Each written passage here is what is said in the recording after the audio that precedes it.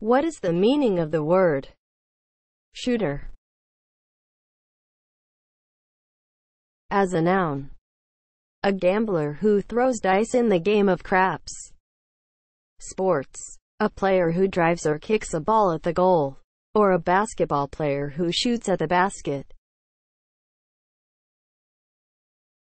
Shooter is spelled S H O O T E R. Shooter